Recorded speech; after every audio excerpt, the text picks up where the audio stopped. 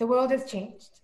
There's so many things going on. And if you're watching this video, it's because you are having issues with your time sharing schedule or you're thinking that you need to change your custody arrangement.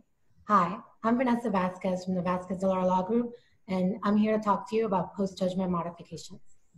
The first thing you need to know is that you have to have unanticipated but permanent changes from the time when you reached your agreement to now. That could be anything from a change in your schedule to perhaps your ex has moved away and now you're living far away from each other.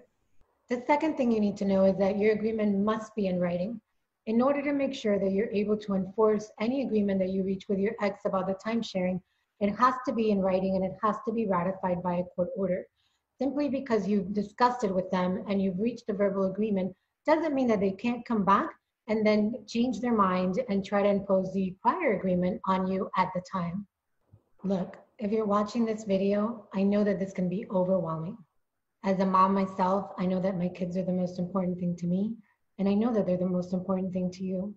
So give us a call if you have questions about how a modification could work for you and for your family.